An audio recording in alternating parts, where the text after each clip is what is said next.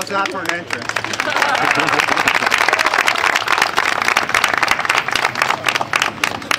Welcome everybody. This- What a beautiful evening for a, a really special event. Um, this is my fourth uh, Black Diamond event and every year we seem to be raising the bar. Um, this wouldn't be possible if it wasn't for some very special individuals. First I want to recognize Peggy Sue O'Donnell. She's been our honorary chair. Um, she's been recognized for the great work that she does in the community as well as uh, her support for St. Luke's. Uh, we had an event last night and it, we, there was a very touching moment. Peggy Sue gave a very uh, brief uh, talk and she said, I'm Team St. Luke's. Peggy Sue, I'm honored to have you on my team.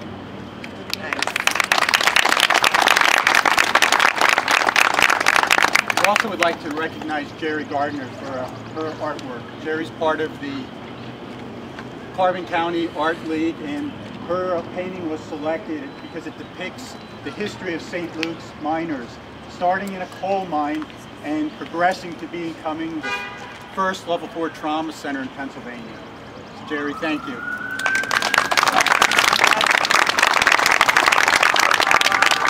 Now, putting an event together like this isn't no easy task. It takes days and months to put this together, and none of this would be possible if it wasn't for Diana Luciano, our committee chairperson. I also want to thank the whole committee for the great job they did in making sure uh, we have a perfect evening tonight. Lastly, we're very fortunate to be part of a really great healthcare system. St. Luke's Miners continues to perform very well, um, and that's due to the great team that we have. You hear me saying this over and over again. If Chip Kelly had a team like I did, it, Eagles would be Super Bowl bound. so, uh, so I want to thank everybody for coming out tonight. Uh, have a great time. Thank you. Into the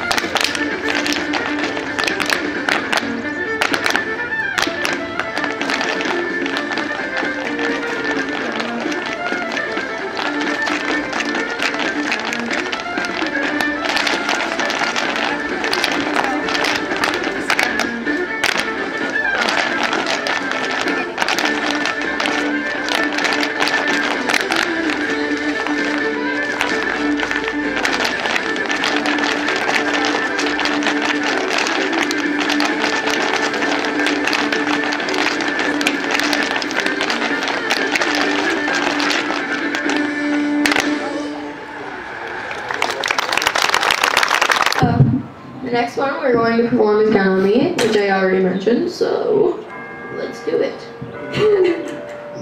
wow.